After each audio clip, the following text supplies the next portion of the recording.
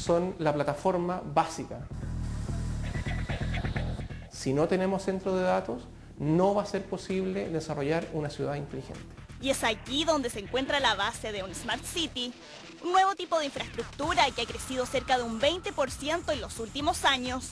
Hablamos de los data centers responsables del tráfico expedito y procesamiento de datos, escenario propicio para que las empresas almacenen millones y millones de información a nuestras cuentas, mandar mails o comprar productos por internet.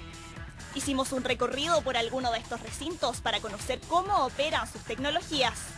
Y para que la ciudad siga funcionando, los data centers también deben estar preparados frente a emergencias como terremotos, apagones o incendios.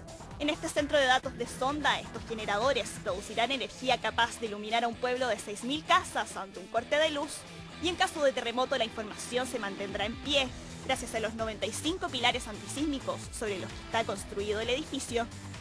Esta tecnología es única en Chile y la manera que, tiene de funcionar es que esto es igual que una hamaca o una cuna, en la cual cuando viene un movimiento más o menos violento, esto se mueve lateralmente disipando la energía. Factores claves a la hora de resguardar la información